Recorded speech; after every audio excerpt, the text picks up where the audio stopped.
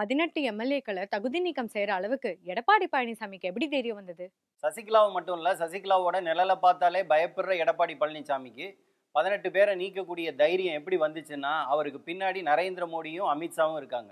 அப்படின்னா இது எல்லாமே பிஜேபியோட பிளான்ல தான் நடக்குதா?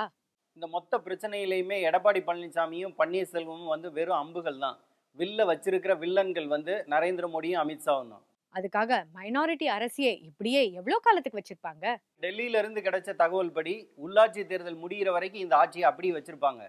ரெட்டால வந்து அதிமுகவுக்கு எப்ப தரப்படுதோ அப்ப உடனே வந்து உள்ளாட்சி தேர்தல் நடந்துரும். அது என்ன? உள்ளாட்சி தேர்தல் வரைக்கும்? உள்ளாட்சி தேர்தலில் ஐம்பது சதவீத இடங்களை அதிமுக கூட்டணியில வாங்கி போட்டியிடுறதான் பிஜேபியோட திட்டம்.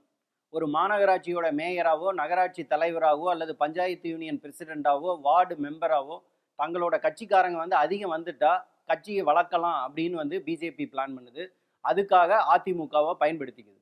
உங்க கணிப்புப்படி உள்ளாட்சி தேர்தல்ல பிஜேபிக்கு எவ்வளவு சீட்டு அதிமுகக்கு எவ்வளவு சீட்டு? அதுலயும் பாதிக்கு பாதி தான்.